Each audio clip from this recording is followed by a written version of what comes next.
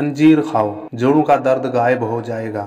रोटियों के डब्बे में लौंग रख देने से रोटी नरम हो जाएगी। जल्दी सोना और जल्दी उठ जाने से बुढ़ापा देर से आता है और जवान नज़र आते हैं। तंग जेंस इस्तेमाल ना करो, चहलकदमी ज़रूर किया करो। अदरक वाली चाय ज़रूर पिए। आयरन की कमी को बढ़ाने के लिए गोभी और पालक का इस्तेमाल ज़्यादा करें।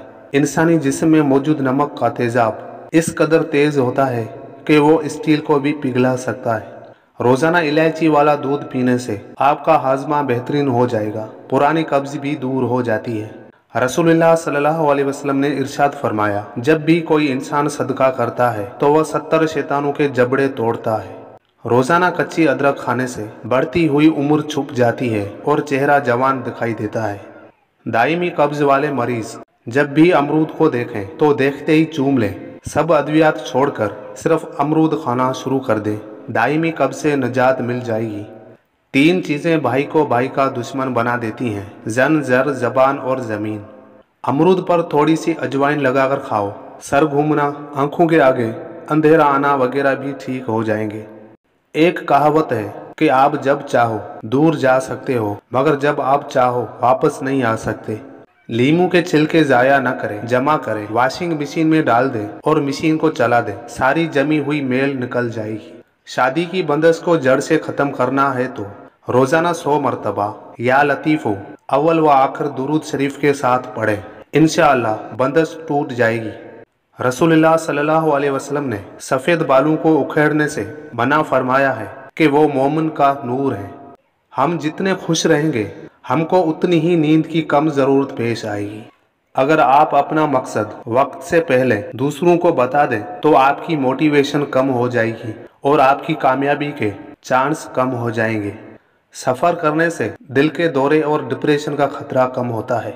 ख्वाब में, बालों में कंगी करना, खुशी मिले, नफ़ा हासिल हो। हाथों में पीलाहट नज़र आए तो ये जिसम में आयरन की कमी को वाजे करता है। ऐसे में केले ज़्यादा इस्तेमाल करें। अगर दांत टेढ़े हो गए हैं तो दांतों पर रोज़ाना मिसवाक करें। दांत सीधे हो जाएँगे। सोने से कबल, नीम, गर्म पानी पी लेना।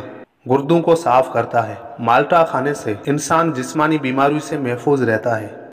दूध में छोटी मक्खी का शहद डालकर पीने से चेहरे की शादाबी तकरीबन 80 साल तक बरकरार रहेगी। जानबूझकर च्यूंटियों और ज़मीन पर रेंगने वाले जानवरों पर पाँव रखने से रिजक तंग हो जाता है। किबला शरीफ की तरफ़ मुँह करके थूकने से रिजक की तंगी होती है। सर के नीचे हाथ रखकर सोने से नींद जल्दी आ जाती है। सब्ज रंग गौर से देखने से आपकी नज़र तेज हो जाएगी। सफ़ेद रंग के कपड़े पहना करो, क्योंकि सफ़ेद रंग के कपड़े पहनने से शख्सियत में निखार आ जाता है।